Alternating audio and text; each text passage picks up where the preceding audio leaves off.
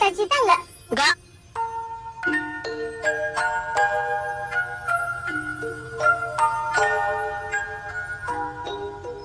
Kemarin waktu di kelas, Bu Indah bilang kalau semua orang punya cita-cita dan kita harus bisa mewujudkan cita-cita itu. Kamu punya cita-cita. Aku punya banyak cita-cita. Aku pengen jadi pramugari dan kerajaan. Mungkin Kata Bu Indah, nggak ada yang nggak mungkin di dunia ini. Tapi cita-cita yang paling aku mau, aku nikah kayak Bunda sama Papa. Aku pengen suami yang baik kayak Papa. Dan aku mau dilamar kayak di TV. Nanti kita punya 10 anak. Dan aku dipanggil Bunda deh. siapa yang jadi suaminya? Aku juga nggak tahu. Tapi aku mau punya suami yang baik dan bilang cinta ke aku setiap hari. Dan kita hidup bahagia. Itu yang paling kamu mau. Iya, kalau kamu cita-citanya apa? Tahu? Masa nggak tahu?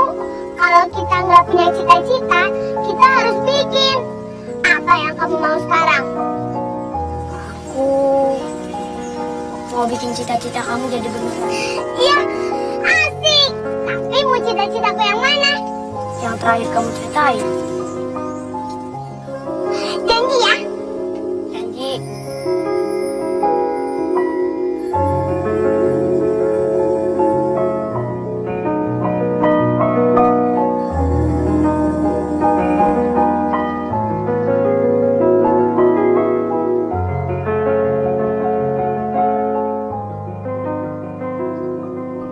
Kisah inilah yang memulai perjalanan perasaanku.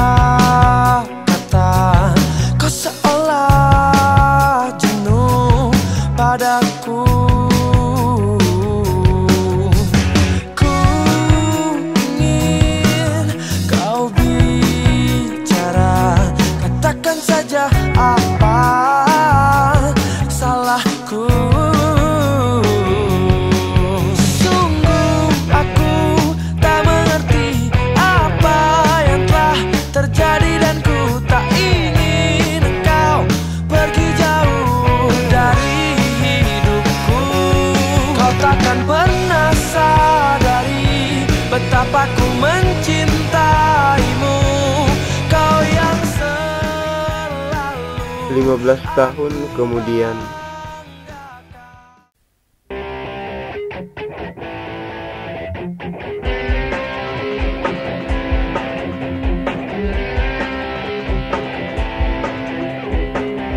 Di atas bumi ini ku berpijak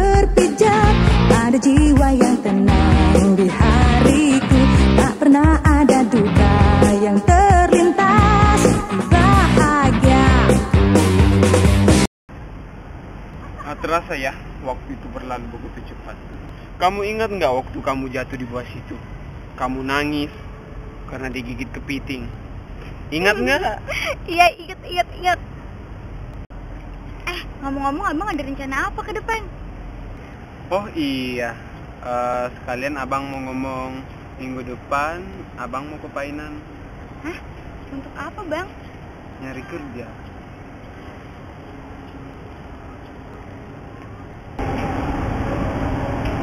Kamu kenapa? Enggak, nggak apa-apa. Oh, kamu antar abang ya? Perpisahan yang kami tidak inginkan terjadi ketika saya harus ke Painan untuk bekerja.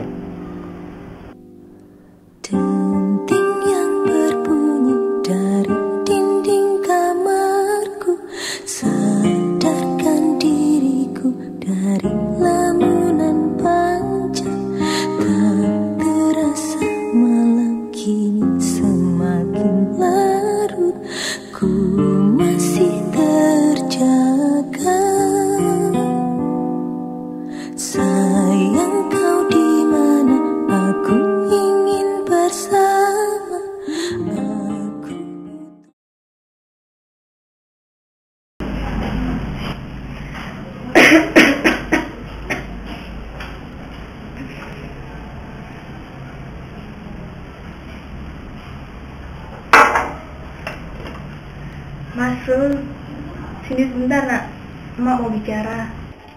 Iya, Mak.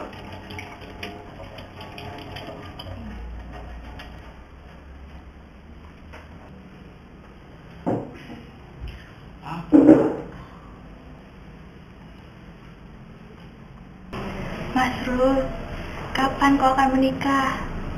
Makmu ini udah tua. Makmu ini udah pengen menimang cucu. Kapan Mas Rul?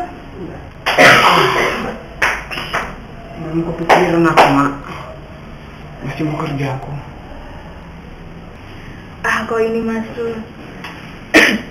Kalau memang tidak ada jodoh, ini Mak ada jodoh buat kamu.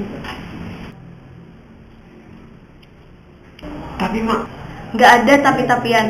Pokoknya kamu harus menikah dengan Aminah. Titik.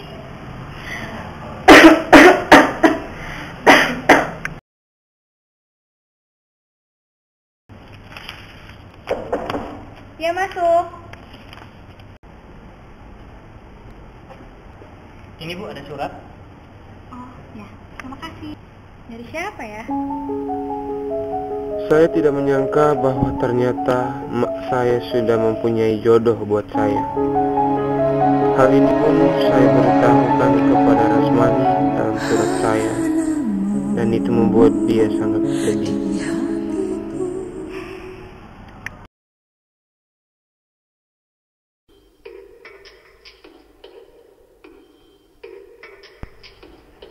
Inilah Pak Kepala yang memimpin di tempat saya bekerja. Saya mengira dia itu sangat baik. Ternyata dia seorang yang licik.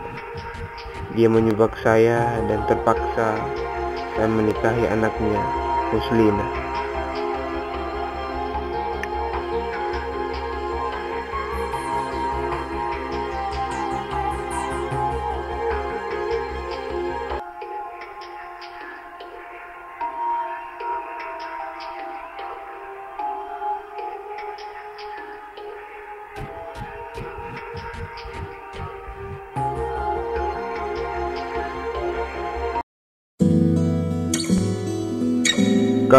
Menikah, tetapi keluarga kami tidak sama dengan keluarga-keluarga yang harmonis. Walaupun sudah mempunyai seorang anak, tetapi si Muslina selalu menuntut saya dan akhirnya pertengkaran pun terjadi. Heh, dari mana kamu pak? Jam segini kok baru pulang? Ini jam berapa? Jam 7. Semalam aku perginya jam berapa? Jam 10. Itu belum lama kan? Oh iya ya pak. Ya udahlah kak. Loh, loh, loh, loh. Pak, jangan membodoh-bodohi saya ya. Saya tahu saya bodoh. Saya ini kangen pak, kangen. Anak di rumah tuh diurusin pak. Bisanya cuma mabok-mabokan. Emangnya cuma kamu yang bisa mabok? Saya juga bisa pak. Lima botol, dua gelas. Hah? Kamu minum? Ya enggak lah. Saya jual buat beli susu anak kita. Lah kamu? Udah kerjaan cuma juru ketik. Penghasilan nggak seberapa. Apa yang bisa kamu kasih ke saya, Pak? Apa? Aku ini istrimu, Pak. Istrimu. Bukan babumu.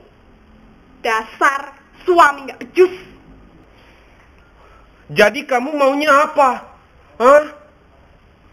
Kamu masih bisa tanya mauku apa, Pak? Cerai tak mauku. Cerai. Terserah kali Aku takkan peduli Ku tak sanggup lagi Jalani cinta denganmu Biarkan ku sendiri Tanpa bayang-bayangmu Setelah pertengkaran itu, kami pun bercerai. Dan saya memutuskan untuk kembali ke tempat Rasmani dan mengatakan bahwa saya masih menyayangi dia.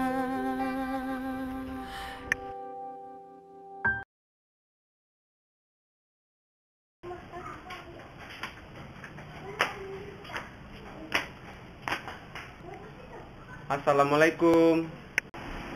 Waalaikumsalam. Masuk. Kau sendiri? Bagaimana keadaan istri dan anakmu? Ya, begitulah. Mereka baik-baik aja. Tapi kami udah cerai. Hah? Cerai? Iya. Maaf bang, saya tidak bermaksud. Oh, nggak apa-apa, nggak apa-apa. Ngomong-ngomong, Bukit Tinggi udah banyak yang berubah ya? Iya, misalnya kayak masjid yang di belakang rumah itu itu baru dibangun satu tahun yang lalu. Oh, terus pohon yang biasa kamu panjat itu masih ada? Abang masih inget aja.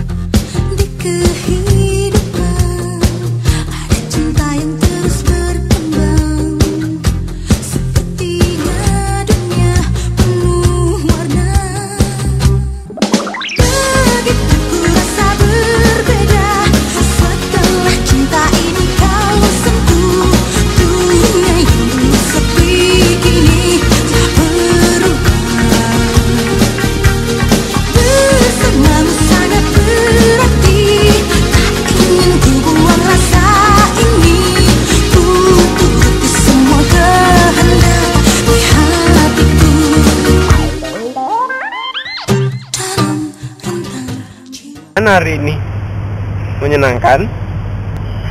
Seneng lah bang. Kalau abang sendiri gimana? Senang banget. Apalagi ada kamu. Ah, abang bisa aja.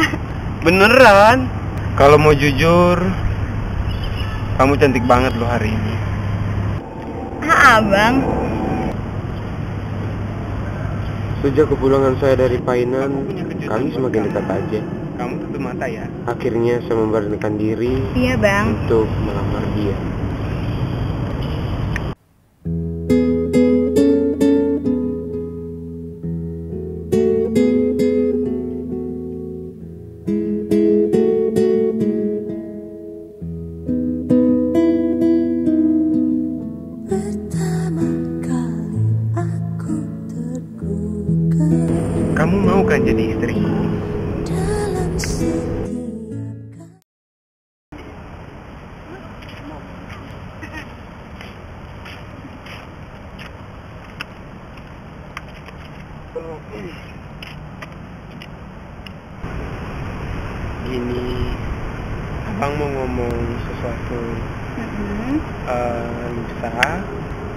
Ke Medan nyari kerja.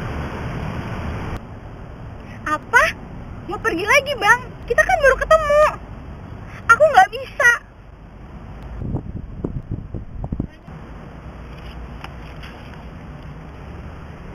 Tapi ini buat masa depan kita.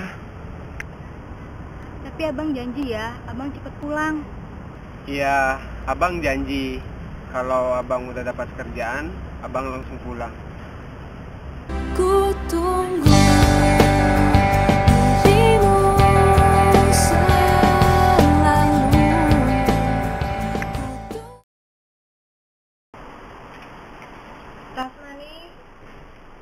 Ya Kak Dalipa. Eh, duduk Kak. Ini ada surat buat kamu. Dari siapa ya?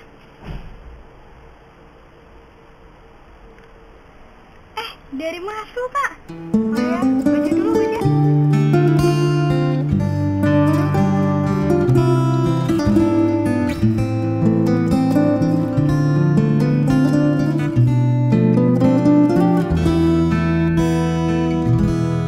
Setelah beberapa bulan, akhirnya saya memberi kabar ke Rasmani melalui surat. Adapun isi surat tersebut menyuruh dia untuk menikahi orang lain dan jangan saya. Ternyata di Medan saya tidak mendapatkan pekerjaan. Itu di luar dugaan saya tidak sesuai dengan harapan saya. Selalu ada wajahmu menghiasi dinding hati. Kau dalam hatiku hanya engkau. Walau bukanlah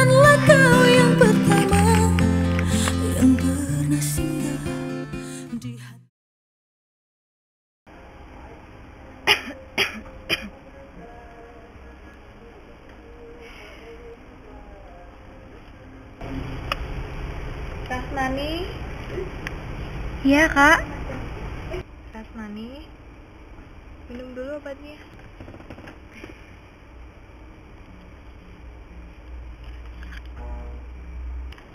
Oh iya, dokter juga bilang keadaan jantungmu sudah semakin membaik, jadi kamu sudah semakin sehat. Ada Lipah, terima kasih ya kak. Selama aku sakit, kakak selalu menemani aku. Sekarang aku sudah mulai membaik. Kakak juga senang kalau kamu semakin membaik. Akhirnya surat terakhir saya pun tiba. Isi surat tersebut mengatakan saya akan kembali karena saya sudah mendapatkan pekerjaan dan ingin menikah lagi dengan Rasmani. Tapi ternyata surat tersebut membuat dia semakin sakit, sakit, dan akhirnya meninggal. Dia? Pun pergi jauh membawa luka kecil yang masih tersimpan dalam hatinya. Dan meninggalkan luka baru untuk saya. Rasmani, Rasmani bangun,